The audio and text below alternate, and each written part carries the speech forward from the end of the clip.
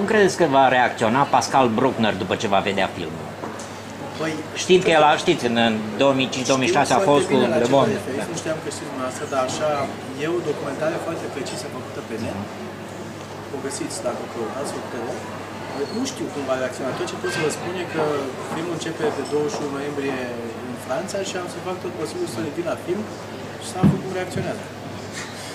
Să, Dar, uh, să-l filmați eventual în momentul Vă dați seama acela. că dacă acest subiect era făcut uh, de Polanski. Polanski sau de Dintilie sau de altcineva, e și alt film. Fiecare Categoric, a făcut categoric. cu totul altceva. Și eu cred că pentru a, anumite lucruri relevate de subiectul ăsta e bine că l-am făcut eu. Nu să mă înțelegeți greșit, dar uh, Eu nu mai, mai mult biserica are ce are cu familia Pipidi. Nu? a, n-am să Fatalitatea. Oricum, fiecare reacționează în funcție de nivelul lui de cunoaștere, de cultură, Așa este, de ziceți. valorile pe care le are Absolut așa. și trece prin filtrul personal și atunci ideea este personală și uneori e opusă față de a celorlalți. Este legat uh, de lumea interioară a fiecăruia, modul cum percepe mesajul și cum îl înțelege.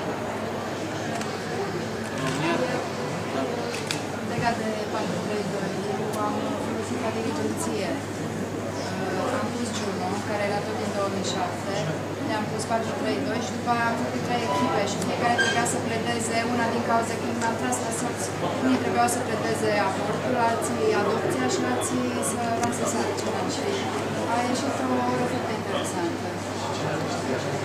Păi n-a fost... Uh, Majoritatea ce are? uh,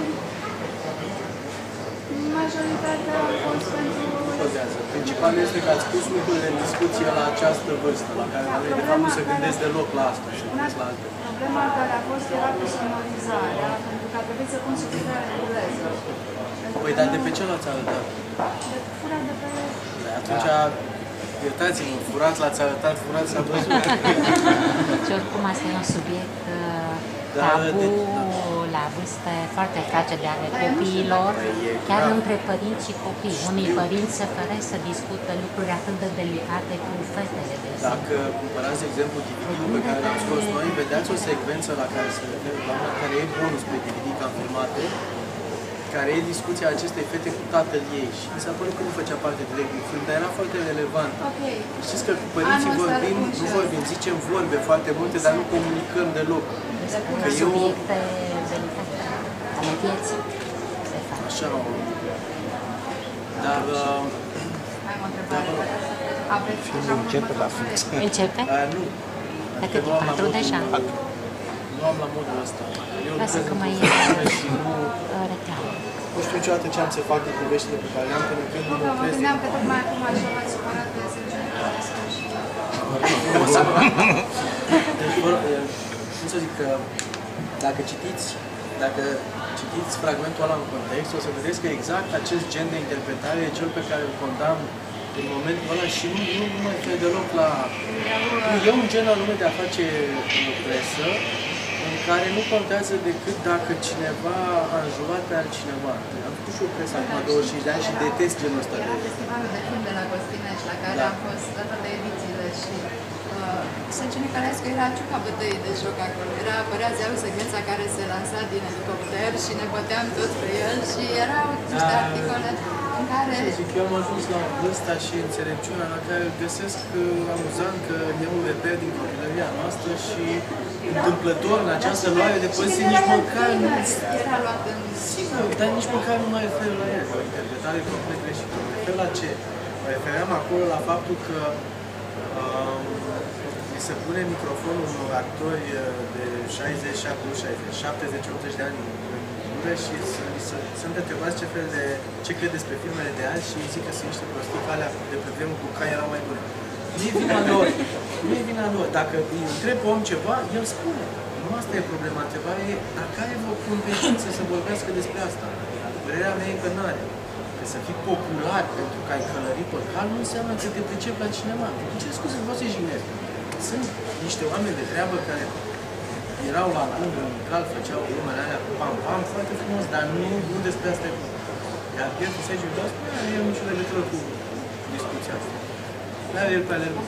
Uitați, am organizat festivalul ăsta de educativ, ca să fac și eu ceva pentru de, cu filmele de la Cannes la București și l-am chemat săptămâna trecută pe Sergiu Vidarescu să vorbească în plen despre filmul lui de scurt metraj din 65 sau 6 care a fost la Cannes. Foarte bine, deci nu, nu asta e. M-am bucurat să văd că a fost la Cannes odată, el consideră experiența importantă, este un oameni civilizați. Da. Pentru perioada Da. Știi pe de rost, să vedem cu Valeria. pentru perioada lui însă de comunism, când Da. a fost cum a fost. Era reperul filmului în Pe reper, România. să știți că și azi e foarte popular în China. China e erou național. Noi însă avem nevoie de un astfel de film care să, pună, să ne pună întrebări Da. și să aibă un mesaj. Să știți că și eu sunt foarte uh, deranjat de toate aceste subiecte extreme, cum le numiți dumneavoastră, dar sunt de părere că dacă nu ne plac subiectele astea extreme, prima cale ca să te vindești de o boală e să vezi că o ai. Și nu să te prefaci că nu o ai. Și de asta aleg să vorbesc despre ele, că așa când noi supreși nu, nu facem nimic. Nu ne-ar plăcea dacă se poate nu să schimbăm cum suntem, ci să nu mai vorbim, avem vorba asta, să nu ne spălăm în felul public, să nu mai vorbim despre cum suntem. Trebuie să schimbăm realitatea, dacă ne deranjează realitatea, imagine. Avem problemă în România cu imaginea țării. Imaginea țării, imaginea lucrurilor care sunt în țară. Să schimbăm realitatea și imaginea să fie bună. Altfel dăm banii din Ministerul de Turism de Cuman. Știți că noi mergem prin țară, cu, prin lume cu filmul ăsta și ne întâlnim cu comunități astea nostalgice de români din toate țările care nu au mai fost de 20 de ani și ne zic, dar avem acolo pelicani, delta, munte, de ce nu faceți un film cu asta? Că sunt și... Oricum românii mai au un externat Da. din trecut, care unele subiecte le deschid și le Dar trebuie să ne vindecăm încet încet de anumite